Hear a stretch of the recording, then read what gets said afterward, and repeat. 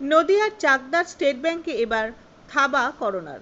এই ব্যাংকের এক কর্মীর করোনা পজিটিভ ধরা পড়েছে। তারপর শুক্রবার ব্যাংকের সামনে ব্যাংক বন্ধের এক নোটিশ ঝুলিয়ে দেয় কর্তৃপক্ষ। দুদিন বন্ধ থাকবে ব্যাংক। এমনটাই জানিয়েছেন ব্যাংকের এক কর্মী। ফলে ব্যাংকে এসে অনেকেই ফিরে যাচ্ছেন। এমনকি এখনও পর্যন্ত কোনো রকম স্যানিটাইজ না করায় ক্ষোভ রয়েছে গ্রাহকদের মনে। স্টেট ব্যাংকে এক দুজনের করোনা ধরা পড়েছে। করোনা পজিটিভ ধরা পড়েছে।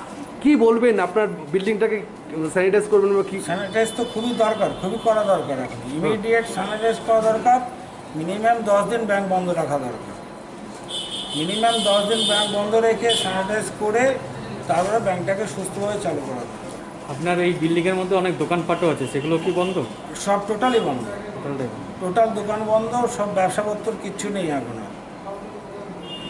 স্যানিটাইজ করা হয়েছে কি? না এখনও এখন পর্যন্ত কোনো স্যানিটাইজ কেউ আসেনি। সরকার থেকেও আসেনি না ব্যাংক থেকে এসে কোন কোনো জায়গা থেকে এখন পর্যন্ত আসেনি। আপনার নাম? আমার নাম রাজ